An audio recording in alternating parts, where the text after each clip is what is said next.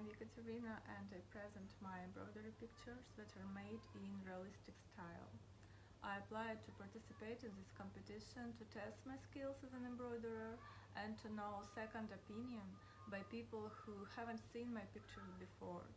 Also, I would like to see artistic and embroidery skills of other artists and to feel competitive spirits. If someone wants to buy my pictures, it's possible via Instagram. All information is my Instagram profile. They can contact me via email, WhatsApp, or direct message on Instagram. Thank you. Bye.